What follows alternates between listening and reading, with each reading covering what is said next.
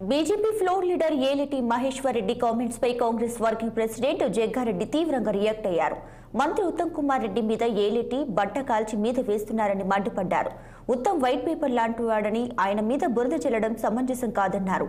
అధికార పార్టీ మీద ప్రతిపక్ష పార్టీలు బురద చెల్లడం సమంజసమేనన్న ఆయన ఐదు ఏళ్ళు రేవంత్ రెడ్డి ముఖ్యమంత్రిగా కొనసాగుతారని చెప్పారు. ఇప్పటికైనా మహేశ్వర్ రెడ్డి కాంగ్రెస్ నేతలపై ఆరోపణలు ఆపితే మంచిదన్నారు.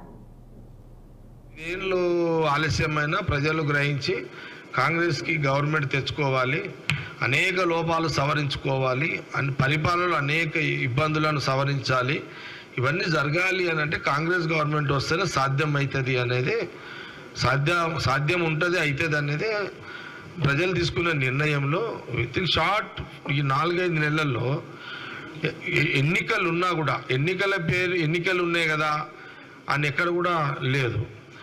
సరే ఇప్పుడు పొలిటికల్గా వాళ్ళు కూడా కొంత ఇమేజ్ అవసరం. అపోజిషన్ పార్టీలకు.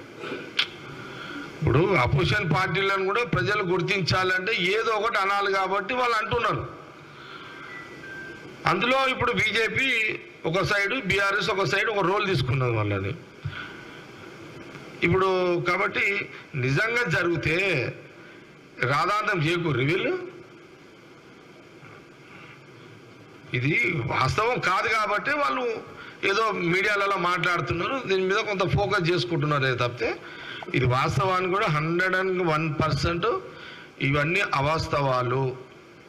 ఇవన్నీ తప్పుడు ప్రచారాలు. లేనిది ఉన్నట్టుగా చిత్రీకరించడమే బీజేపీ ఫ్లోర్ లీడర్గా మహేశ్వర్ రెడ్డి ఒక ప్రణాళిక పరంగా మీడియాలో అతను మాట్లాడుతున్నాడు. ఇది కాంగ్రెస్ పార్టీ తీవ్రంగా మేము ఖండిస్తున్నాము. తొమ్మిదేళ్ళు ఆలస్యమైన ప్రజలు గ్రహించి